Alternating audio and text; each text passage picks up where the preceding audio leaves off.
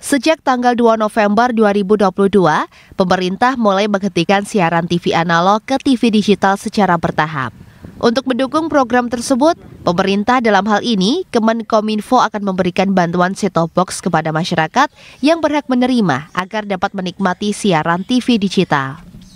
Namun di Bangkalan, sampai saat ini masih belum ada titik terang terkait pendistribusian set-top box tersebut. Sehingga hal ini mengakibatkan keresahan bagi masyarakat, utamanya bagi masyarakat yang selama ini menonton siaran TV secara analog.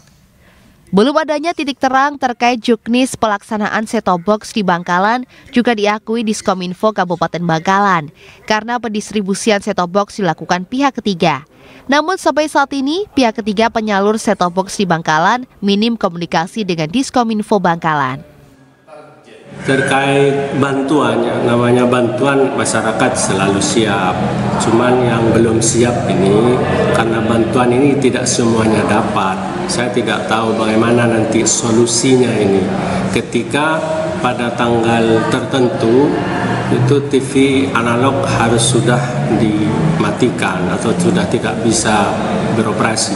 Berarti belum ada komunikasi antara pihak ketiga dengan Dinas Kominfo terkait dengan pendistribusian Starbucks ini sendiri, Pak Gadis? Uh, sampai kemarin belum.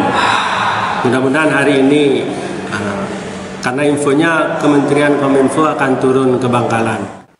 Diketahui di Bangkalan ada kurang lebih 51 ribu masyarakat penerima bantuan set-top dari pemerintah.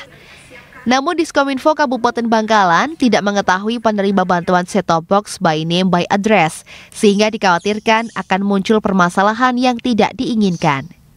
Muhammad Sahid, CTV.